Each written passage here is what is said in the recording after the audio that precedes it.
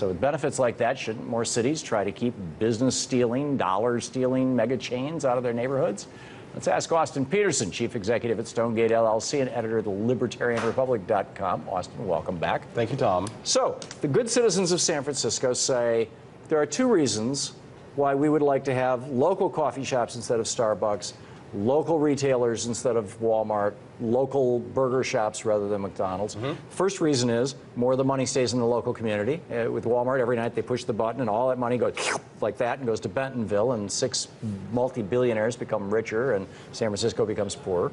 And the second is we kind of like the look of our town, particularly a tourist town like San Francisco, looking local, not looking like every other city in America. Mm. When the majority of the voters, this was a citizen initiative, it was a mm. democratic, small d democratic process. Mm-hmm. When the majority of the voters say this is how we want our city to be, why would you not want to respect that democracy? Well, it's probably one of the best arguments against democracy. You know, Karl Marx said that democracy leads to socialism, and socialism is slavery, as uh, uh, Lord Acton had stated. But the problem here is, is that when you look at uh, individual rights, I mean, business owners have rights, but the problem is, is you're only thinking about the local businesses. You're not thinking about the local consumers. No, I am. But I the am. prob- The no, the, no, the but the consumers are the people who but remember, voted But to remember, say, "This is the consumers, consumers want." when they go to a Walmart or another store, they get 15 to 20 percent lower prices than they get at a lot of these uh, the other local the stores. local consumers voted for this. Doesn't matter. And and well, The it does if you believe it in does. democracy. I mean, Individual I rights get it trump that- collective rights. I get it that you don't believe in democracy. That's right. So if you're going to have a decision-making process, Mm-hmm. if a local community gets to decide things and they don't do it democratically, Yeah. You're suggesting that that decision should be made by the six billionaires who own the Walmart Well, family? I've suggested The we should be overturned by the court. The court is the anti-democratic institution, one of the most important institutions that we have. It's supposed to be anti-democratic because democracy is, of course, tyranny of the majority. And if you look at our president right now, you can see what the tyranny of the majority has given us. Someone who's about to go in and start killing more civilians in the Middle East. That has nothing That's to do democracy. and, if, if- and if Congress votes for it, then yeah, you'll say that democracy was not a good thing. So democracy, you're, you're, so you're saying democracy is a bad thing, and you want to replace it with the courts. well, I think representative So democracy is fine. Who is, well, representative democracy?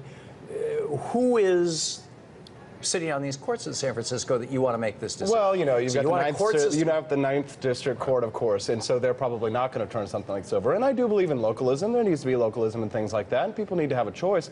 But I think that the But you don't business, want but the people to make business, that why don't the business owners have a choice? Why is it that the voters, who probably never shop at the stores anyway, ha- are the ones who have to make the decisions? You know, it's just like it's just like with smoking in question bars. You know, it's like 90-year-old women who never smoke. They're, they're going to vote against smoking in bars, but they don't even go to the establishment. So why do you care about their opinion?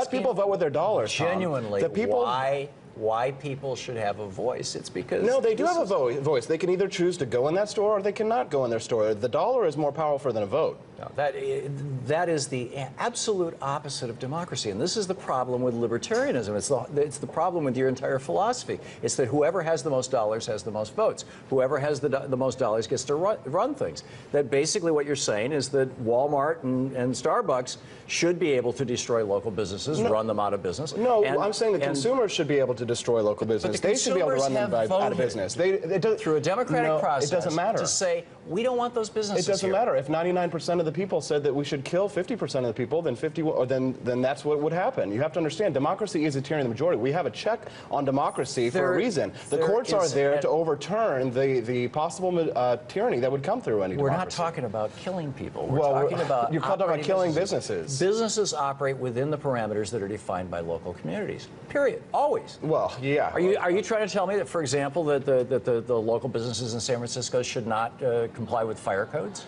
Uh, well, I'm saying that I wish that we didn't have as many That codes. they shouldn't have to comply with health codes? That, Well, that if there's cockroaches running around the kitchen, that, that the consumers have no right to know that? I think that should be able business owners that? should. I think business owners should be forced to bear the burden of the cost of doing business. That doesn't mean that you have to come in and say this is what the cost of doing business is. If central planning had worked, then the Soviet Union would have never fell. This is not central planning. This is Yes, simply is. the people saying, the people of the community Right. saying, we would like to know that when we go into this restaurant, mm-hmm. there's not cockroaches in the kitchen. well, how come those people aren't smart enough to just not go into the restaurant themselves and not frequent or stage a boycott? You have to go to the ballot box and do for, use force. All right, we're, we're, we're flat. We're, we are out of time, and I.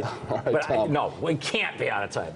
No, All right, people bring it are- on, Thom, the- bring it on. Yeah, no, it's it's very simple. It's the very people, important. To say that the people are going to are going to simply going to every that the responsibility should be that every single person goes in and says, okay, I'm going to look in your kitchen before I decide to, to eat here. Mm-hmm. Is is stupid, frankly. Oh, I mean, there's nothing wrong with a Well, then community tell me saying something. these are the standards. Remember Upton Sinclair, the guy who wrote the Jungle, that the where they passed all those health safety These the regulations? He was opposed which- to all of the regulations that the government was trying to pass That's afterwards. irrelevant. So why That's is it irrelevant. Really? That- to say that what you're saying is that the people should not have the right to say we want to have this kind of restaurant They and we want to have right. these kinds they of standards. do. They have the right to do that by saying, "I choose to frequent this establishment or Only- not to frequent that establishment." only- What- only but by what the citizens, dollars. But what citizens and once don't. again, what citizens don't have the the right to do is to go and go to their elected representative and ask them to do violence on their behalf. that this has got nothing to do with violence. Yes, It's it does, do because government is force. kitchens or or giant corporations eating. Well, I would rather be exposed to the inconveniences of too that. much liberty than of too little, Thom. Yeah, uh, like death. Okay,